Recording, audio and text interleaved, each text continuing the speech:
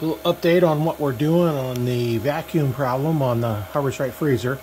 Uh, I went through, uh, did what I could do, and I called Harvest Right, and he sent me a link to a video, and I watched that. I've got all that done. I also said I might need to degas it.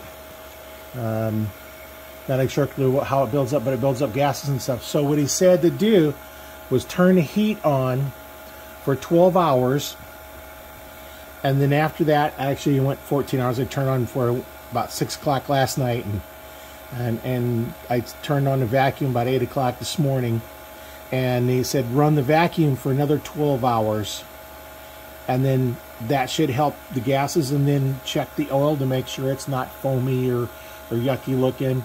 Um, the uh, oil looks pretty good. It's the, it's not completely clear like it is when it's brand new, but with the oil that's in there is maybe about a quarter or a third of it is new oil, and I put some of the newest oil because I got two containers of oil. Uh, the other one is is going to get thrown out. It's it's had its its life taken out of it, so uh, we're going to order in some more oil. But that's what we're doing, and we'll come back once uh, we've gone through uh, about 12 hours. We're only about 45 minutes into it right now, and our millitorrs are down to five. Well, it's still dropping to 584 right now, so we'll see where it goes after the 12 hours. We'll check that tonight, about 6 or 8 o'clock, probably about 8 o'clock tonight or so. We'll, we'll check it and see what it looks like then. I'm going to do a little bit update. It's been about 6 hours and uh, we've had the heat and the vacuum on. We had about 8 hour or about 14 hours with just heat and now another 6 hours with the vacuum on and we're down to uh, 425 on the Millitorrs. So that's getting a little bit lower than it was just by the vacuum only. So maybe it's it's that's going to solve the problem. We'll uh, continue on and uh, we'll see how that goes once it gets all done. Went through and did the uh, uh off-gassing procedure.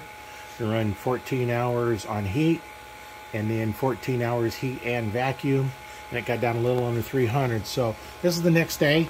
So I turned on just the vacuum to see if it's going to seal up. We've been running about nine minutes here almost 10 we're down to 600 and well it's dropping down 618 and we'll let that go and then we'll turn the pump off and see if it holds.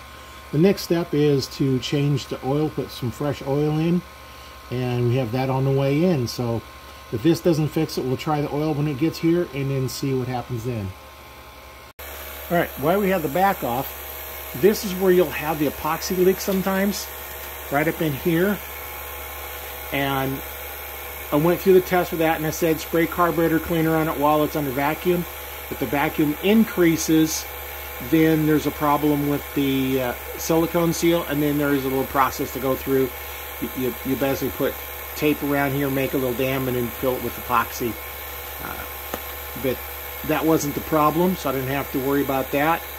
Uh, so there's leaks somewhere else. So we'll continue on with some other tests. Um, I contacted Harvest Right, and they gave me a couple other things to try. So we'll take a look at that and see what that does.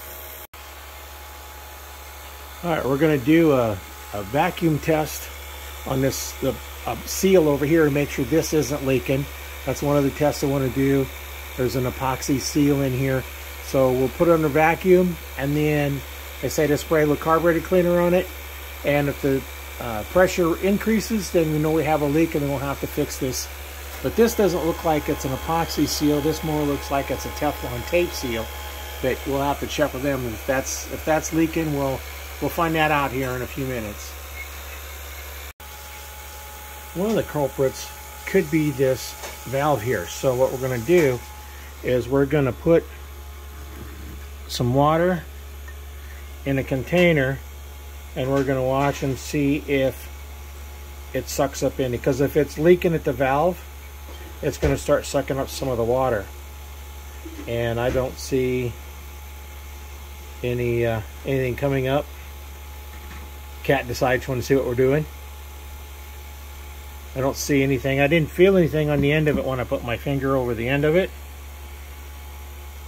and that just confirms that our source of our leak is not this, this valve. So we'll continue on. We'll have a little bit more uh, testing to do. Once we get a, a, volume, a vacuum down here, we got a little bit more to go. We're not quite there yet. We're, we're almost down there. I want to get down below 500 and so I got some good vacuum in there and then we'll we'll do some testing. One of the things we one of the things we're going to do is we're going to drain the oil off the pump and see it's draining into a filter and that's that's pretty dark. Uh, it comes out it's supposed to be clear uh, so that that could be one of the problems uh, in the notes they said that so I'm going to hand drain it in into this filter it looks like one of those Brita water filters but it's not it's, it's actually designed for the Harvest Right they come with the machine. But we have a couple of different um, oils. We had both of these. This one here I've used um, probably about uh, uh, 20 23 24 times. This one I've used a few more times. Uh, this here rest of this bottle is it, it's it's about right here. This is all new oil that I've never used. I may have to get some more oil uh, to try just replacing it and seeing what that does. Because we have put a lot of a lot of uh, batches through here. I think the uh, um, just about done draining. And then what you're supposed to do is tilt the pump so you get all all of it out. So I'm gonna finish up draining the oil and we'll go from there